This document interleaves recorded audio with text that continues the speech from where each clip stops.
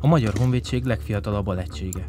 Így nevezik a Tatai Lövészgandár kötelékében március 1-ével létrehozott második lövészzászló aljat. Az itt szolgáló katonák azóta gőzerővel készülnek, hogy meg tudjanak felelni az előjáró által meghatározott elvárásoknak.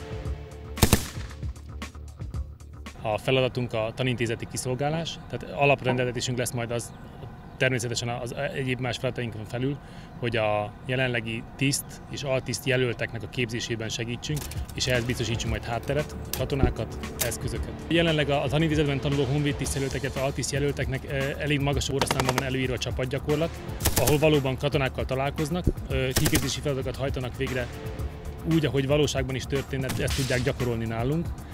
Az alegységhez újoncként bevonult közkatonák alapkiképzése május 8-án ünnepélyes esküvel ért véget. Ezt követően a Dandár tavaszi Bakonyi csapás 2015 elnevezésű gyakorlatán hajtották végre a szakalap felkészítés elméleti és gyakorlati részét. A kiképzés lezáró, mindenki számára kötelezően előírt egyéni lőgyakorlatokat viszont már a hazaérkezést követő időre a Szomódi helyőrségi lőtére tervezték rendszeresített kézifegyverekkel, valamint BTR-80 típusú harcjárművek toronyfegyvereivel lőttek.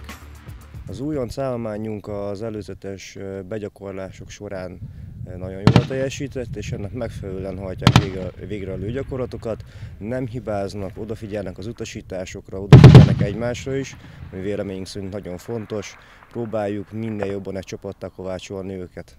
A felkészítés természetesen tovább folytatódik, még júliusban megkezdődik a rajok összekovácsolása.